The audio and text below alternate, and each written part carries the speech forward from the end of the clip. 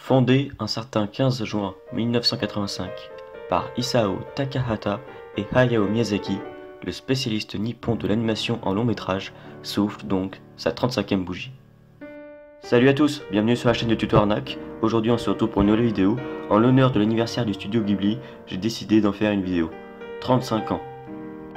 Le nom du studio provient du mot italien que l'Italie utilise pendant la Seconde Guerre mondiale pour désigner l'un de ses avions de reconnaissance, le Caproni CA-309 Ghibli. Hayao Miyazaki, grand amateur d'aviation, décide de choisir ce nom. Cet amour de Miyazaki pour l'aviation se retrouvera dans certains de ses films, comme Porco Rosso ou Le vent se lève par exemple.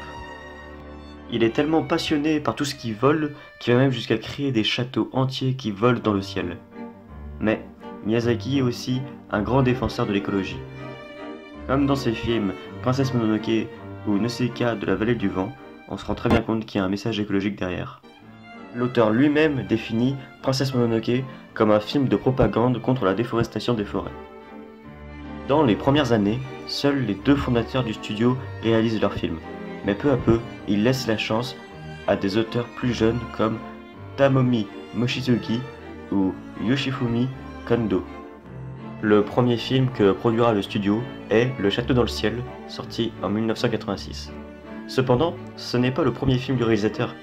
Il a déjà fait d'autres films comme Nausicaa de la vallée du vent, sorti en 1984 par exemple.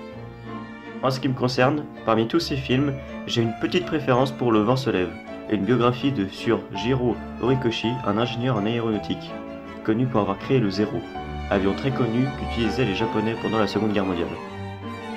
Le 23 juillet 1996, The Walt Disney Company obtient l'exclusivité des droits de distribution à l'étranger des films du studio Ghibli, à l'exception du film Le tombeau de Luciole, possédé en France par Kazé.